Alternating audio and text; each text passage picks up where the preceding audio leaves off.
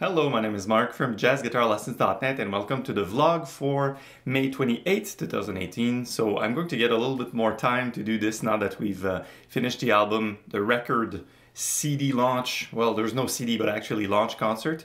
Uh, so today I want to answer a question by either it was a visitor or YouTube commenter on singing your lines. Uh, it's a big thing, you hear George Benson do it. Sometimes people watch my videos and they see a lesson where I start to improvise and go, you know, do my thing. Uh, and I want to answer this uh, in an intricate fashion. So first I want to give you two or three things you can work on. And later, much later in the video, I'm going to tell you how what happened for me. In fact, what were the four what were the four steps so I could get um, I could get to sing my lines and what I've been through. And basically, the theme of today's video is do what I say, don't don't do what I do. Okay, but first a word from our sponsor. This video here is brought to you by Bandzoogle. Bandzoogle makes it easy for musicians to create really beautiful website that work. You can sell your merch, you can sell your albums, your MP3, CDs, etc. You can have your event calendar, blog, bio, pictures, etc. Uh, you can head over to uh, my website, my personal website, marcandreseguin.com, no dash, no no capitals, and it took me about 18 minutes to build this entire website. Uh, for the record, this is where the new album it's called Second Chances by yours truly has been hosted, and uh, Bandzoogle is uh, their slogan is websites by musicians for musicians, really user friendly. Uh, so head over there right now. If you're interested in Bandzoogle, you can use the coupon code JazzGuitar. This is just for subscribers of JazzGuitarLessons.net, and you can get 15% off your first year. Of course, the first 30 days are free. So check this out. And speaking of the devil, we released this Second Chances album, or Monday now it was, it's Memorial Day in the US, by the way. Happy Memorial Day. We had this Friday gig, which was a lot of fun, and it was filmed and everything. So it means I'm going to ha have a little more time now to send the studio and do these vlogs, answer these questions, publish these lessons. Back to, back on topic, and let me take a little sip of coffee. I'm as tired as ever. So good. Uh, this is not a sponsor, but um, Cliffhanger Espresso by uh, Canadian coffee company uh, Kicking Horse. I guess they're in British Columbia. They're on the west coast. Great coffee. Um, maybe I should ask them to sponsor me after all. So let's dig into this topic of singing your lines. So I know we're three minutes in the video. I didn't say anything. Uh, I have I've seen the future and I see people comment and say, just shut up and play your guitar. So this is not a guitar video, so I apologize. If you want to put the comment here and you think I wasted your time, fine. Uh, if not, stick around.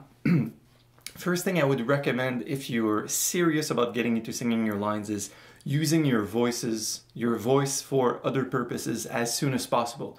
You listen to music in the car, you listen to good jazz recordings. Uh, I like Wayne Shorter and Miles Davis and John Coltrane.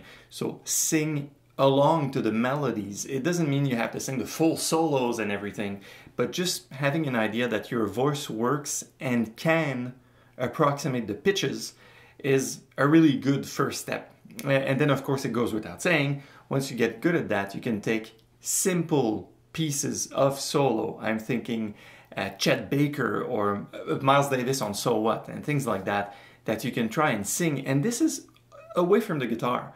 You want to to convince yourself that your voice works. Doesn't mean you'll be a frontman in a rock band, doesn't mean you'll be a diva like Céline, Céline Dion, québécoise, uh, but you, you can really learn a thing to, to be confident with, with your, your own voice. It goes without saying, so sing themes and melodies and solos and then sing so, uh, what, solos uh, as a second part the faster it gets, the harder it is to articulate. But it's really difficult. So start simple with really easy thing. Next step, once you convince yourself you can just sing, you can start to sing and play by using your guitar and singing along to the the melodies, the themes of standards, for instance, just standards that you're working on. And I'm not even talking about like, you know, strumming chords and singing a Garth Brooks song. I'm talking about playing Autumn Leaves, do da da dee.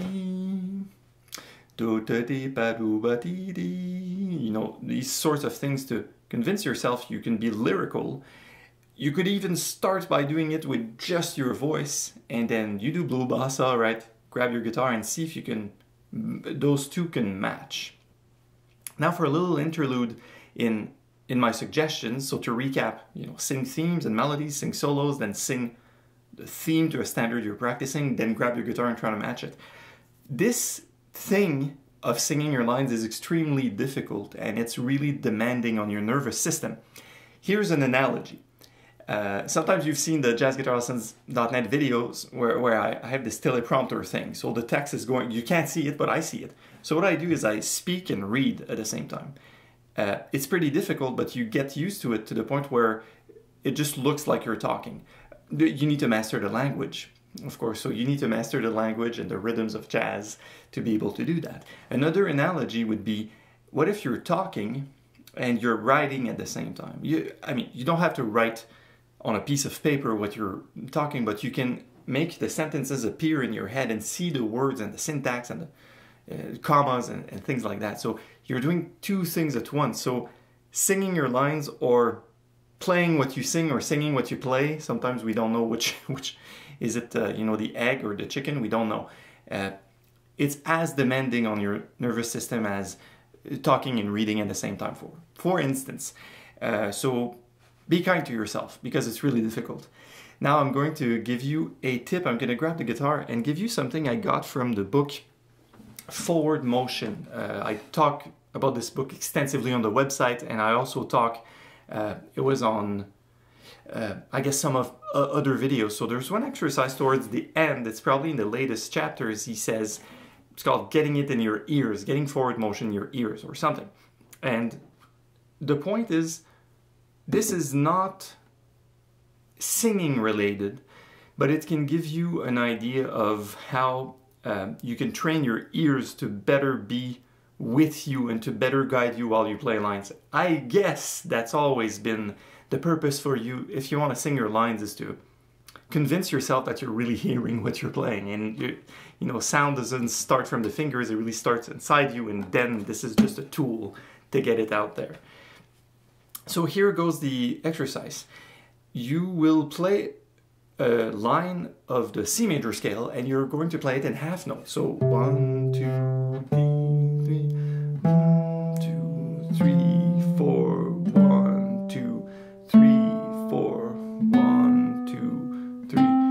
is pretty easy, right? But the point is, this is the structure you have to con constantly hear in your mind while you're going to do the rest of the exercise.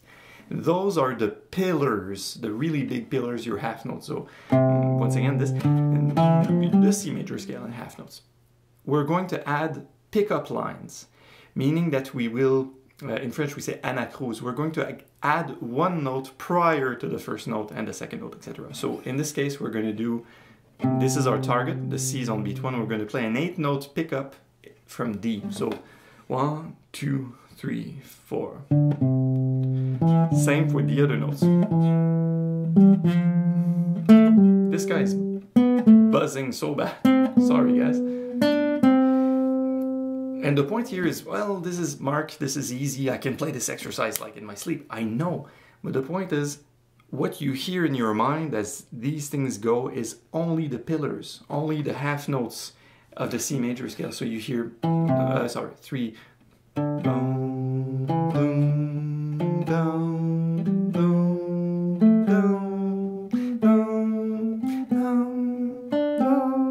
So what I was singing is actually what's going on through my mind. Now it's pretty easy. Let's add two notes instead of we're gonna go E D C right a one two three.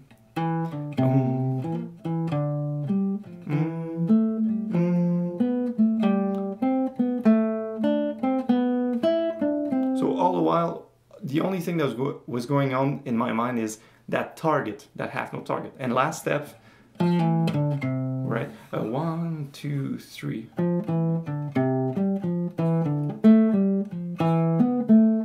So it's almost as if you your ears start to intuit what is coming next. And what's coming next is you hear the landing tone before it happens. Now we we're only doing this so you separate you hear oh we hear an eight note ahead now we hear oh we hear two eight notes ahead now we hear three eight notes ahead so it's like driving on the highway where you look further ahead so you kind of stretch out your ear's ability to hear further. Of course, you can do this um, if you want to descend the scale. I would do. Uh, you know, organize your pickups, but still, that half note line you have, uh, to, to quote the author, says you will have to scream that in your head. You have to hear it so loud that the person next to you is hearing it too, but it's only happening in your mind. Uh, so this is a great, great, great exercise to to get um, to get closer to, to singing your lines, and I guess this is how it happened for me. So I know we're 10, 10 minutes into the video, and this is the, the tips I can give you.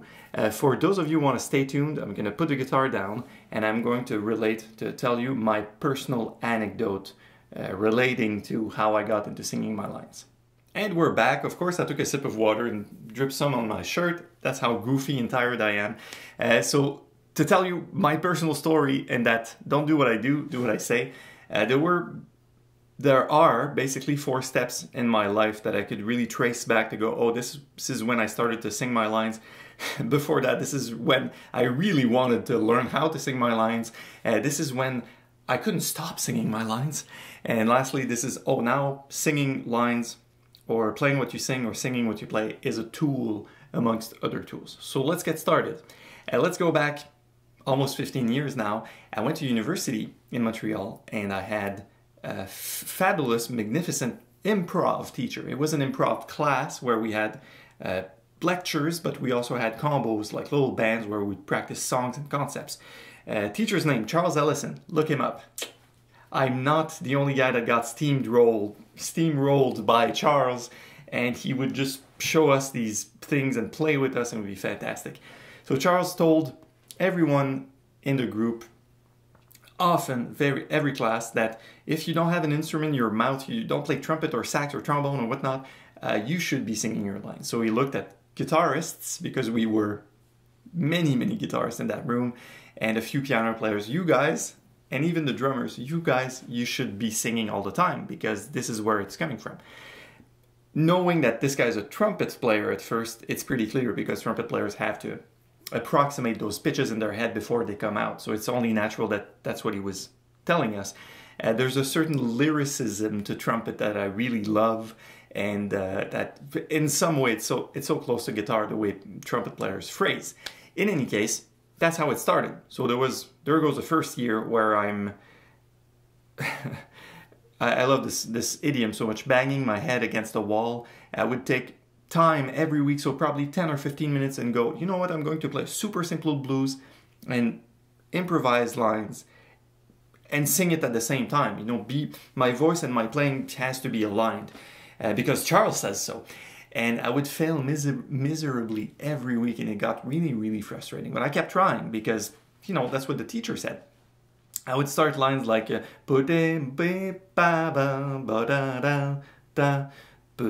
and then three or four bars later, as soon as I got into playing a part of a scale or an arpeggio or going down or going faster, I would totally lose and my voice and playing would go like this and I would either stop playing or just keep improvising. They're ah, the heck with my voice. I just I have this idea I'm following now on my with my fingers.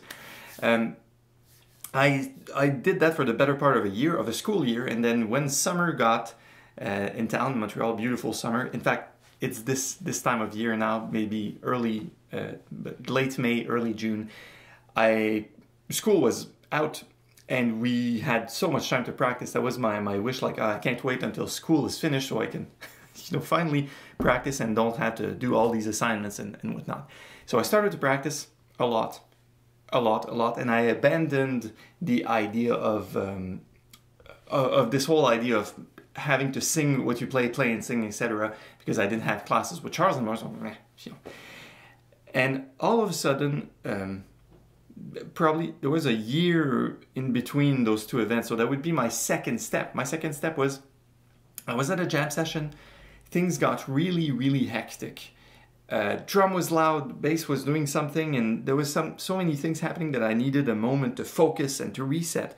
And i remember i played something high up on the fretboard and i didn't quite know what i was doing. And my voice came out to confirm what i wanted to hear. And this happened automatically. This totally happened. Um, and then I, I sang the rest of the solo that I was improvising to my own surprise. I was totally, I was, I was like, wow, uh, okay, I guess I I do this now. You know, it just it, the the switch went on, and my friends were uh, impressed or surprised, or they found this funny that I was screaming lines at the top of my lungs while simultaneously playing them. I didn't grab a microphone or anything, but I was just doing it. So this is how it happens, uh, to tell you the truth. So that's why I'm saying, you know, do what I say, don't do what I do, because it just, it sort of happened by accident. I tried a lot, then I totally let go, and it started to happen. Um, uh, I guess about a year later. However, you know, in the middle, I was practicing a lot. I was playing gigs. I was rehearsing, teaching. I was doing these studies in university. So this this this is how it happened. Now, for the curious people that are still sticking around after 15 minutes, um, the third step was I was completely stuck singing my lines, and this was kind of bad because I started to do it for YouTube, for my lessons videos, and I started to do it even when it was inappropriate or that people in the audience could hear me or people could hear me and sometimes I'm pitchy.